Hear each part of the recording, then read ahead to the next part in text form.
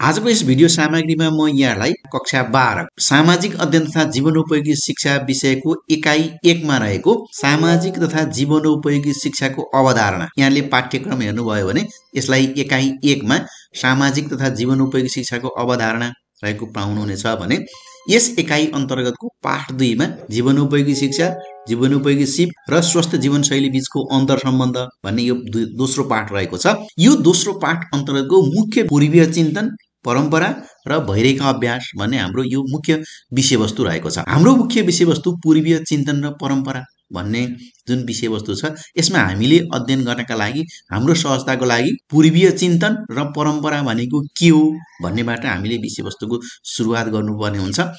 यसको लागि चिन्तन भनेको के हो? यस विषयवस्तुबाट सुरुवात गरौँ। यहाँले पूर्वीय चिन्तन भनेर अथवा कस्तालाई पूर्वीय चिन्तन भन्ने चिन्तन एउटा यस्तो मानसिक प्रक्रिया हो जसमा व्यक्ति कुनै नयाँ परिस्थितिको सामना गर्न अथवा कुनै समस्याको समाधान गर्नमा आफ्नो पूर्व अनुभवको उपयोग गर्छ। मनोवैज्ञानिकका अनुसार चिन्तनको प्रारम्भ अथवा यसको सुरुवात कुनै न कुनै समस्याबाट हुने गर्छ। जब समस्या पर्छ समस्याको लागि समाधान आवश्यक पर्छ। त्यो समाधानको लागि कुनै नयाँ खालको चिन्तन आवश्यक पर्छ। त्यस कारणले भनिन्छ चिन्तनको प्रारम्भ सुरुवात कुनै समस्याबाट सुरुवात हुन्छ र यसको अन्त्य त्यो समस्याको समाधानबाट हुन्छ भनेर यो चिन्तनलाई हामी परिभाषित गर्न सक्छौँ। एउटा परिभाषालाई हामी अध्ययन गरौँ। वारेनले चिन्तनलाई यसरी परिभाषित गरेका छन् अथवा यसो भनेका छन्। चिन्तन एक प्रतीकात्मक स्वरूपको विचारात्मक प्रक्रिया हो। प्रतीकात्मक स्वरूपको विचारात्मक प्रक्रिया जुन मानिसमा उत्पन्न हुन्छ त्यो विचारको प्रक्रिया हो जसको प्रारम्भ व्यक्ति समक्ष उपस्थित अथवा व्यक्तिको अगाडि रहेको कुनै समस्या वा विषयबाट हुने गर्छ। यसमा व्यक्तिको समस्या तथा मानसिक वृत्तिसँग सम्बन्धित केही प्रयत्न तथा भुलको क्रिया हुने गर्छ तथा अन्त्यमा समस्याको समाधान हुने गर्छ। विभिन्न क्रिया प्रतिक्रियाहरू हुन्छन् समस्या समाधानका लागि र अन्तमा त्यो क्रिया र प्रतिक्रियाका मार्फत समस्याको समाधान हुने गर्छ। त्यसलाई चिन्तन भएर वारेनले यसरी परिभाषित गरेका छन्। यस्तै रासको परिभाषालाई हामीले अध्ययन गऱ्यौँ भने चिन्तन ज्ञानात्मक पक्षको मानसिक क्रिया हो भनेर यसलाई परिभाषित गरेका छन्। तसर्थ चिन्तन एउटा यस्तो मानसिक प्रक्रिया हो जसद्वारा व्यक्ति आफ्नो समस्याको समाधान गर्ने गर्छ भनेर हामी यसलाई परिभाषित गर्न सक्छौँ। एउटा जस्तो मानसिक प्रक्रिया हो। यो मानसिक प्रक्रियाका मार्फत विभिन्न विकल्पहरूका मार्फत व्यक्तिले मानिसले आफ्नो समस्याको समाधान गर्छ। मानव स्वभावले नै चिन्तनशील प्राणी हो। उसले आफ्नो उद्देश्य पुरा गर्नका लागि मानसिक चिन्तन तर्क कल्पना तथा समस्या समाधानका लागि उपयोग गर्छ। चिन्तन शक्तिकै कारण मानिस अन्य प्राणीहरूभन्दा श्रेष्ठ रहेको संसारका सबै प्राणीहरू अन्य प्राणीहरूभन्दा मानिसलाई हामी श्रेष्ठ प्राणी भन्छौँ। किन त भन्दा मानिसमा चिन्तन शक्ति छ। त्यस कारणले अन्य प्राणीभन्दा मानिस श्रेष्ठ प्राणी हो। अर्कोतर्फ चिन्तनद्वारा तर्क बन्छ र उत्पादित तर्क। त्यो तर्कद्वारा उत्पादन भएको चिन्तनको सर्वोच्च रूप हो त्यो। समस्याको समाधान गर्नु पनि तर्कको नै एकभन्दा बढी परिष्कृत रूप समेत हो। कुनै एउटा चिन्तन गर्छ त्यो चिन्तनबाट मानिसले तर्कको उत्पादन गर्छ विभिन्न तर्क वितर्क भन्छौँ हामी तर्कहरू गर्छ। उत्पादित ती तर्कहरू चिन्तनको सबैभन्दा सर्वोच्च रूप हो। चिन्तन गरेको माध्यमबाट चिन्तनका माध्यमबाट नयाँ किसिमको तर्क निर्माण गर्छ। त्यो के हो त भन्दा चिन्तनको सर्वोच्च रूप हो। तर्क समस्याको समाधान हुन्छ। त्यो तर्कका आधारमा समस्याको समाधान गर्छ। र तर्कको एकभन्दा बढी परिष्कृत रूप समेत के हो त? चिन्तन हो। यसरी समग्रमा हामीले चिन्तनलाई हेऱ्यौँ भने बुदागत रूपमा अध्ययन गऱ्यौँ भने कुनै लक्ष्यप्रति उन्मुख हुनु के हो? चिन्तन हो। लक्ष्य प्राप्तिको लागि प्रयास गर्नु के हो त? चिन्तन हो। पूर्व अनुभवहरूको स्मरण गर्नु त्यो पनि के हो? चिन्तन हो। पूर्व अनुभवलाई वर्तमान समस्यासँग संयोजन गर्नु। त्यो पनि के हो त? आफूले हासिल गरेका पूर्व अनुभवहरूलाई अहिले रहेको समस्या जुन मानिसको अगाडि उपस्थित भएको समस्या छ मानिसको अगाडि रहेको समस्या छ त्यसलाई समाधान गर्नका लागि पूर्व अनुभवहरूलाई अहिलेको समस्यासँग संयोजन गर्नु र समस्याको समाधानको सार्थकतालाई निहाल्नु कसरी त्यो समस्या समाधान भयो त्यो त्यसको सार्थकतालाई निहाल्नु यसरी हामीले यो चिन्तनलाई बुधागत रूपमा अध्ययन गर्न सक्छौँ। यसका माध्यमबाट यहाँले पक्कै पनि अब चिन्तन भनेको के हो भन्ने विषयमा हामीले छलफल गरेका छौँ। यहाँलाई स्पष्ट भयो होला भन्ने मेरो धारणा रहेको छ। अब यसपछि परम्परा चिन्तन र परम्परा। अब परम्परा के हो त भन्दा छोटकरीमा भन्ने हो भने हाम्रा पुर्खाहरूले मान्दै आएका चालचलन के हुन् त भन्दा परम्परा हुन्। त्यसैको निरन्तरता के हो? हामी परम्परा हो। परम्परा कालदेखि चल्दै आएको हामी भनेर भन्छौँ। त्यो भनेको हाम्रा बाजे बराजुहरू भने हामी भन्छौँ जुन पुर्खाहरू भन्छौँ हाम्रा अग्रजहरूले मान्दै आएको चलनलाई त्यसैको निरन्तरता दिनु के हो त? परम्परा हो। र सामान्य रूपमा अर्थमा भन्ने हो भने पहिलेदेखि चलिआएको आफ्नो परम्परा अथवा मानिआएको चालचलन त्यसलाई हामी परम्परा हो भनेर यसलाई परिभाषित गर्न सक्छौँ। हामीले यो दुईवटै शब्द पहिलो शब्द के रहेको थियो त भन्दा हामीले चिन्तनको परिभाषा गऱ्यौँ र दोस्रो शब्द के रहेको छ भन्दा परम्परा यी दुवैको हामीले परिभाषा हेरिसकेका छौँ। यो दुवैको परिभाषा हेरिसकेपछि अब हामी पूर्वीय चिन्तन र परम्पराका बारेमा छलफल गरौँ। अब पूर्वीय चिन्तन र परम्परा केलाई भन्ने त? भन्दा पूर्वीय चिन्तनले पूर्वी तथा दक्षिण एसियामा उत्पत्ति भएका चिन्तनहरूलाई जनाउँछ। विशेष गरी हामी एसिया एसियाली मुलुकहरू र त्यसमा पनि विशेष गरी दक्षिण एसियाली मुलुकहरू मुलुकहरूमा उत्पत्ति भएको चिन्तनलाई पूर्वीय चिन्तन भनेर हामी भन्छौँ। खास गरी भारतवर्ष भनेर चिनिने दक्षिण एसिया क्षेत्रमा उत्पत्ति भएका हिन्दू चिन्तन जैन चिन्तन बौद्ध चिन्तन बढी प्रभाव भएका पूर्वीय चिन्तनहरू हुन् जसको ठुलो प्रभाव दक्षिण एसियाका अलावा दक्षिण पूर्वी एसिया तिब्बत मङ्गोलिया समेतमा यसको प्रभाव रहेको छ। भारतवर्षमा विकसित भएको वा भारतीय चिन्तनलाई पूर्वीय चिन्तन भनेर पनि चिनिन्छ। पूर्वीय चिन्तन अन्तर्गत चिनिया भारतीय कोरियन थाइल्यान्ड म्यानमारका चिन्तनहरू पर्छन्। हामी यसलाई पूर्वीय चिन्तन भनेर परिभाषित गर्न सक्छौँ। पूर्वीय चिन्तन परम्परा चाहिँ निकै विविधतापूर्ण दार्शनिक विचारधारायुक्त एवं व्यावहारिक आयामहरूको समन्वयात्मक दृष्टिकोणबाट यसलाई हामी बुझ्नुपर्छ। उपयुक्त समन्वयात्मक दृष्टिकोणका आधारमा पूर्वीय चिन्तन परम्पराका केही साझा आधारभूत मान्यताहरू पनि रहेको हामी पाउँछौँ। पूर्वीय दर्शन धर्म संस्कार संस्कृति सभ्यता रीतिस्थिति कला आदिमा आधारित चिन्तन परम्परा पूर्वीय चिन्तन हो। पूर्वीय दर्शन अथवा पूर्वीय दर्शन संज्ञालाई सामान्यतया एसियाका पूर्वी देशहरू दक्षिण पूर्वी देश र दक्षिणी भूभागमा उद्भव एवं विकास भएका त्यहाँबाट विकसित भएका विविध दर्शनहरूलाई पूर्वीय दर्शन पूर्वीय चिन्तन भनेर हामी यसलाई परिभाषित गर्छौँ। पूर्वीय चिन्तन परम्परामा मानव जीवनमा चरित्रलाई निकै महत्त्व दिइन्छ। मानवको चरित्र निर्माणमा धर्म संस्कार संस्कृति सामाजिकीकरण शिक्षा कला सिप आदिको प्रत्यक्ष प्रभाव पर्छ। परिवार कुल समुदाय र समाजलाई महत्त्व दिनु पनि के हो त? पूर्वीय मान्यताको एउटा साझा विशेषताको रूपमा हामी भन्न सक्छौँ। पूर्वीय चिन्तनमा वैदिक दर्शनमा आधारित षड दर्शन षड भनेको छवटा। छवटा दर्शनहरू चारवक अथवा लोकायत दर्शन बौद्ध दर्शन चिनिया दर्शन र जैन दर्शन। को मुख्य प्रभाव रहेको पाइन्छ। अब हामी यो सर दर्शन भनेको के हो चारवाक दर्शन भनेको के हो बौद्ध दर्शन भनेको के हो चिनिया दर्शन भनेको के हो जैन दर्शन यसको सार तत्व के हो यसको छोटकरी रूपमा हामी यसको अध्ययन गर्छौँ। किनभने दर्शन भनेको आफैमा ठुलो क्षेत्र हो यसको अध्ययनको क्षेत्र ठुलो हुन्छ।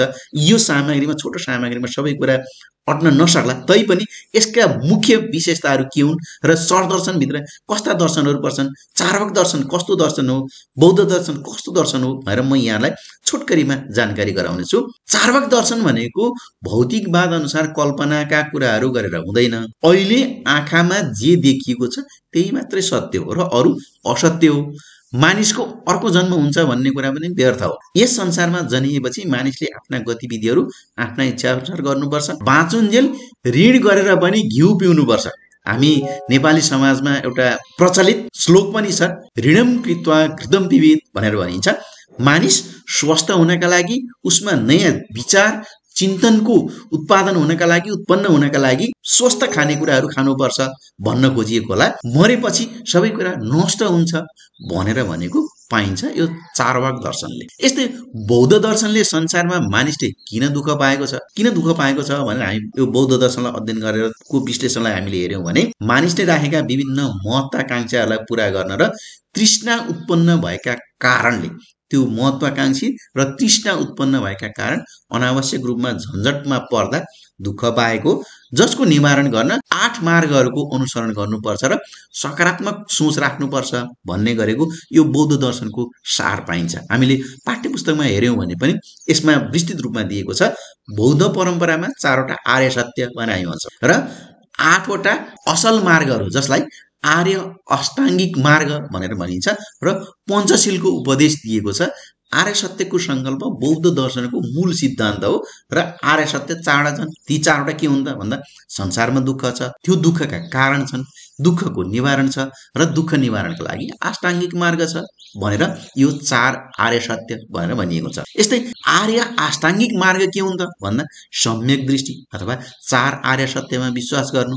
दोस्रोमा सम्यक सङ्कल्प।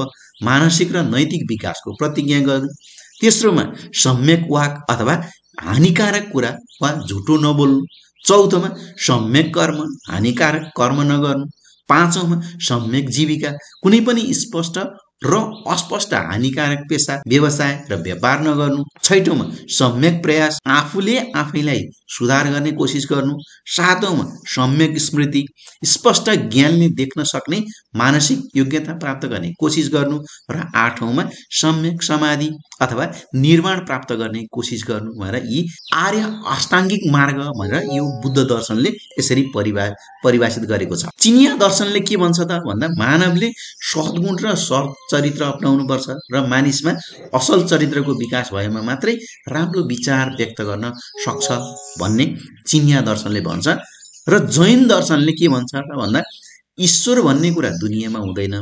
भौतिक संसारमा बाँच्न र विकास गर्नका लागि मानिसमा पाँचवटा गुणहरू के के त भन्दा अहिंसा सत्य अस्तय ब्रह्मचर्य र अपरिग्रह यी विद्यमान हुनुपर्छ भनी जैन दर्शनले यो व्याख्या गर्छ। अब लाग्यो वैदिक दर्शन भनेको के हो? हामीले पूर्वीय दर्शनको अध्ययन गर्दा यसको एउटा महत्त्वपूर्ण पाठको रूपमा रहेको वैदिक दर्शन।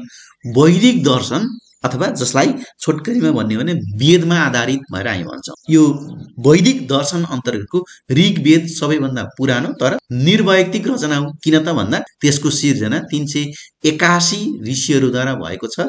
एक हजार अठाइस सुक्त अन्तर्गत दस हजार पाँच सय बाहन्न मन्त्र र ऋचाहरू ऋग्वेदमा समावेश भएका छन् भनेर हामी यसलाई अध्ययन गर्न सक्छौँ। अब यो वैदिक दर्शनका मुख्य आधार के हुन्? यसका प्रकारहरू भनेर पनि हामी भन्छौँ। यसका मुख्य आधार अथवा प्रकार जुन हामीले योभन्दा अगाडि भनेका छौँ वैदिक दर्शन यसका प्रकारहरू भनेर हामीले अध्ययन गऱ्यौँ भने षड दर्शन अन्तर्गत यसलाई छवटा दर्शन पहिलो चाहिँ साङ्ख्य दर्शन। साङ्ख्य दर्शन द्वैतवादी यथार्थका रूपमा मानिन्छ। महर्षि कपिलद्वारा यो दर्शन रचना भएको साङ्ख्य दर्शनले सृष्टिको मूल कारण प्रकृतिलाई मान्छ र प्रकृतिबाट नै जगतको उत्पत्ति हुन्छ भनेर यो दर्शनले भन्दो रहेछ। दोस्रोको योग दर्शन। योग दर्शनको प्रवर्तक महर्षि पतञ्जलीलाई मानिन्छ। योग भनेको सामान्य अर्थमा यसलाई हामीले भन्यो भने जोड्नु जसले व्यक्तिको आत्मालाई परमात्मासँग एकीकृत गराउँछ। चित्त र मनको प्रक्रियालाई एकीकृत गर्नु के हो त?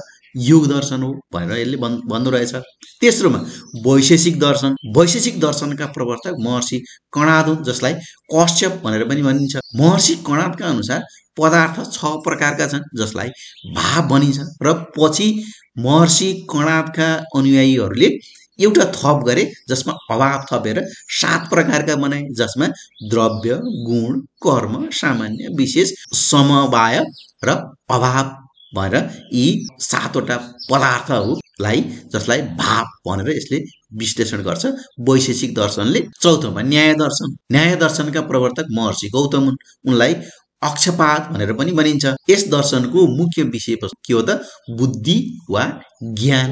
यसलाई न्याय दर्शन भनेर भनिन्छ। पाँचौँमा मीमांसा दर्शन। मीमांसा दर्शनका प्रणेता ऋषि जैमिनी हुन्। शाब्दिक रूपमा मीमांसा भनेको के हो त भन्दा शाश्वत विचार भन्ने बुझिन्छ। यसलाई मीमांसा दर्शन भनेर भनिन्छ। र छैटौँमा वेदान्त दर्शन। वेदको अन्तिम भाग के हो त? वेदान्त वा उपनिषद हो वेदान्त दर्शनलाई सत्कार्यवादी दर्शन भनेर पनि भनिन्छ। यी दर्शनहरूको बारेमा हामीले यो कुरा गऱ्यौँ। अब यो पूर्वीय दर्शनमा यो माथि हामीले भनेका जुन दर्शन अथवा वैदिक दर्शनहरू छन् यो वैदिक दर्शन र बौद्ध जैन यी दर्शनहरूलाई हामीले हेऱ्यौँ भने यसलाई हामी आस्तिक दर्शन र नास्तिक दर्शन भनेर भनिँदो रहेछ। यहाँ ईश्वर मान्ने र नमान्ने रूपमा यसलाई आस्तिक र नास्तिक भनिएको होइन कि वेदमा अर्थ्याइएका सिद्धान्तहरूलाई जस्ताको तस्तै नमान्ने दर्शन के हो त? नास्तिक दर्शनहरू जस्तो कि चारवक जैन र बौद्ध दर्शन यिनीहरू चाहिँ नास्तिक दर्शनको रूपमा लिइन्छ र दर्शन अथवा वैदिक सिद्धान्तलाई मान्ने अथवा वेदलाई ज्ञानको स्रोतको रूपमा मान्ने दर्शन के हो त भन्दा आस्तिक दर्शन हो भनेर यसलाई हामी दुईवटा प्रकारमा विभाजन गर्न सकिँदो रहेछ। वैदिक सिद्धान्तका आधारमा जगतलाई व्याख्या र विश्लेषण गर्ने सिद्धान्त के हो त भन्दा आस्तिक दर्शन हो। भने वेदमा अर्थाएका सिद्धान्तलाई जस्ताको जस्तै नमान्ने त्यस त्यसलाई नास्तिक दर्शन भनेर यी दुईटा प्रकारमा यी दर्शनहरूलाई विभाजन गरेको पाइन्छ। यसलाई हामीले चित्रको रूपमा हेऱ्यौँ भने विश्लेषण गऱ्यौँ भने यहाँलाई बुझ्न सहज हुनेछ भन्ने किसिमले मैले यहाँ एउटा चित्रको रूपमा राखेको छु जुन पूर्वीय दर्शनलाई हामीले अध्ययन गर्नका लागि यो दक्षिण एसिया र दक्षिण पूर्वी एसियाका देशहरूबाट जुन सुरुवात भयो यसको प्रादुर्भाव भयो दक्षिण एसिया का मुलुकहरूमा रहेको जुन हामीले षड दर्शन भन्यौँ आस्तिक दर्शन अन्तर्गत साङ्ख्य योग वैशेषिक न्याय मीमांसा वेदान्त यी के हुन् त? आस्तिक दर्शन हुन् भने नास्तिक दर्शन चाहिँ चारवाक बौद्ध र जैन यी चाहिँ नास्तिक दर्शनको रूपमा यसलाई हामी विभाजन गर्न सक्छौँ भने दक्षिण पूर्वी एसियामा चिनिया जापान भियतनाम कोरिया यिनीहरूको दर्शन पर्दछ जसमा मुख्य गरेर चिनिया दर्शनहरू कम्पुसियसवाद ताओवाद यी दर्शनहरू दक्षिण पूर्वी एसियाका दर्शन भनेर हामी यसरी अध्ययन गर्न सक्छौँ। यो पूर्वीय दर्शनलाई हामी विभाजन गरेर अध्ययन गर्न सक्छौँ। अब पूर्वीय चिन्तनमा अथवा पूर्वीय चिन्तन परम्परामा हाम्रो नेपालको योगदान के छ त?